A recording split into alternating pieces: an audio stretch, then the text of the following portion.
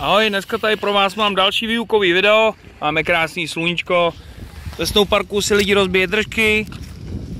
Na boxech, tak tam se někdo křápnul na tom velkém railu. No a tohle video bude věnovaný, počkej, si to chytnu líp. Tohle video bude věnovaný svačinkám, protože já mám teďka partičku skvělých holek, kterým tatínkové dávají sebou svačiny, čehož si moc vážím. Super. Uh, ale dneska přinesli kromě mysli tyčinek a čokoládový tyčinky Nutella, taky tyhle ty crispinci. No, je to vidět? To jsou extrudovaná kukuřice uh, a prostě to je uh, v obalu, který se nedá znova zavřít. Uh, jakmile sebou plácnem někde, tak z toho vznikne mrtěl drobků a instruktor bude mít v kapse spoustu drobků. Takže mě napadlo udělat tohle video, jako co je vlastně dobrá sváča. Jo? To neznamená, že bych si nevážil křupínek, jo?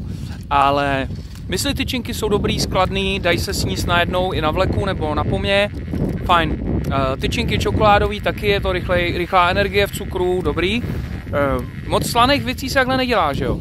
No a otázka je, co kdybychom se vrátili k oldschoolovým svačinám. Normálně rohlík, uh, máslo, paštíka a bylo by to, ne? Možná nějakou plátek nějakého salátu do toho, ať máme pocit, že to je zdravý a v pohodě. Takže houska se salámem, přátelé, je vynikající sváča, protože ta houska, ta mouka, to jsou taky sacharidy, to jsou taky cukry a navíc tím, že to je slaný, tak to chutná jako opravdové jídlo a ne jako dezert, jo? Protože sladký, to je dezert, to není jídlo. To říkala vždycky moje maminka. Takže jsme nesměli sežrat celý pekáč štrůdlu, ale vždycky jenom jeden kousek k čaji. Naši si dali kafe k pohádce, že jo, a my jsme čuměli na pohádku, dali jsme si čaj a kus buchty, ale ne prostě jako celý pekáč, protože toho cukru je tam strašně moc a hází to prostě inzulínem, jako v krvi je to trošku crazy. Takže tak, děkuji vám za pozornost, pokud máte dobrý typy na svačinu, tak mi prosím vás napište do komentářů, jo a samozřejmě můžu doporučit oldschoolový jabko.